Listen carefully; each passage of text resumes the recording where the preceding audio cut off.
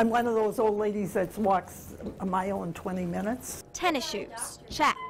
Hershey Kiss costume, check. I thought I was going way too fast again for you. You could say this 84 year old volunteer, Rita Durnan, was on a mission this morning. Her mission? And this is for Jill. To deliver Valentine's Day grams to patients and workers at St. Mary's Health.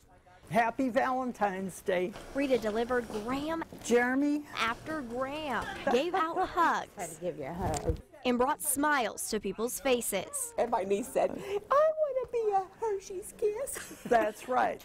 But this isn't this Hershey's first kiss.